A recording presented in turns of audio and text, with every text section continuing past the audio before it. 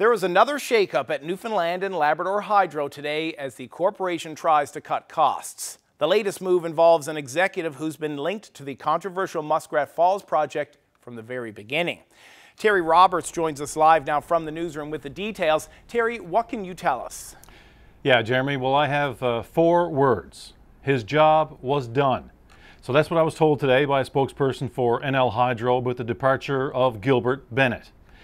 Uh, Bennett was the executive vice president of power generation. In other words, he was the person in charge of completing the Muskrat Falls power station in Labrador. Well, the station was commissioned a year ago, and as a result, Bennett's services were no longer required at Hydro. Now, Bennett is not leaving empty handed. He'll receive a severance package totaling roughly $1 million. It's a standard, uh, you know, executive contract payout, two years salary of just under 700 grand, a retirement allowance, uh, some unused vacation time. Now, why are we singling out Bennett here this evening?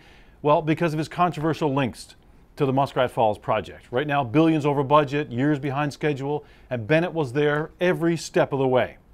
He was a key deputy to uh, Nalcor CEO Ed Martin, who left under a cloud of controversy in 2016. And Martin and Bennett were central figures in the March 2020 final report of the Muskrat Falls public inquiry. In one of the most damning sections of the report, Commissioner Richard LeBlanc said Martin, Bennett, and members of the project management team frequently took unprincipled steps to help secure project approval in late 2012. Now, the, despite the findings, Ed Martin's replacement, Stan Marshall, of course, he refused to take action against Bennett, and Bennett also survived the first round of executive cuts by new CEO Jennifer Williams a year ago. So, Terry, how successful has Hydro been at cutting their costs? Well, Jeremy, Hydro has cut 19 million in operating costs since Jennifer Williams took over.